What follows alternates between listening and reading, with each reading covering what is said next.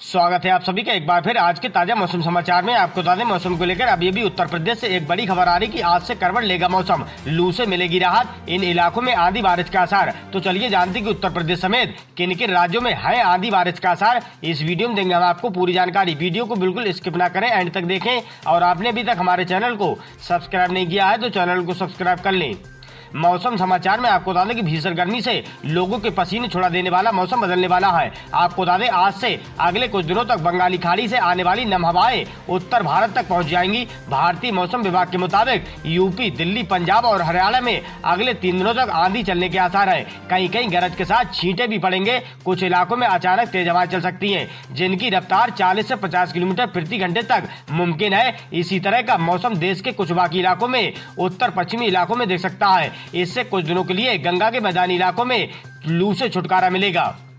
मौसम में इस बदलाव की वजह से उत्तर पश्चिमी इलाकों में अगले दो तीन दिनों तक अधिकतम तापमान में दो से पाँच डिग्री की गिरावट आ सकती है। मध्य और पूर्वी भारत के अलावा गुजरात, महाराष्ट्र में पारा तीन से दो डिग्री नीचे आ सकता है। मौसम विभाग का कहना है कि बंगाली खाड़ी और पूर्वोत्तर से आने वाली हवाओं की वजह से अगले पाँच दिनों तक बिहार, झारखंड, बंगाल और उड़ीसा में तेज आंधी आ सकती है और गरज के साथ छींटे पड़ सकते हैं। आईएमडी ने बताया कि वेस्टर्न डिस्टर्बेंस की वजह से हिमाचल प्रदेश, उत्तराखंड, जम्मू कश्मीर से आपको बता दें कि तेज हवाएँ चलेंगी। हल्की से मध्यम दर्जे की बारिश हो सकती है। इसके बाद आपको बता दें कि कुछ इलाकों में तेज हवाओं के साथ अच्छी बारिश की संभावना है। ओले भी गिर सकते हैं। तेज आंधी की भी संभावना है। बंगाली खाड़ी से आ रही हवाओं की वजह से पूर्वोत्तर भारत और हिमालय बंगाल सिक्किम में सिक्किम में अगले पाँच दिनों तक गरज के साथ तेज आंधी के आसार है। कहीं कहीं तेज बारिश भी होगी। उधर दक्षिण अंडमान सागर में चक्रवाती हवाओं का सिस्टम बन रहा है। इससे तेज हवाओं के बीच भारी बारिश की संभावना है।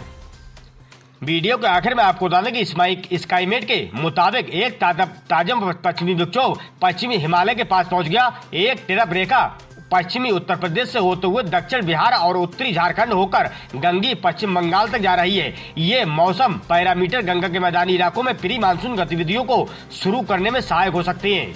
वैसे तो आपको बता दें कि इस महीने उत्तर, पश्चिम और मध्य भारत के सबसे गर्म महीनों में एक माना जाता है। इस साल अप्रैल का महीना आपको बता दें कि उत्तर, पश्चिम और मध्य भारत के लिए पिछले 122 सालों में सबसे गर्म रहा। बारिश ने भी इस बार बेरुखी दिखाई। एक मार्च से तीस अप्रैल तक के बीच पूरे देश में बत्तीस प्रतिशत तक तो उत्तर, पश्चिम भारत में छियासी फ़ीसदी तक बारिश की कमी दर्ज की गई। लेकिन अब प्री मानसून गतिविधियों की वजह से इसमें थोड़ी राहत मिलने की संभावना है।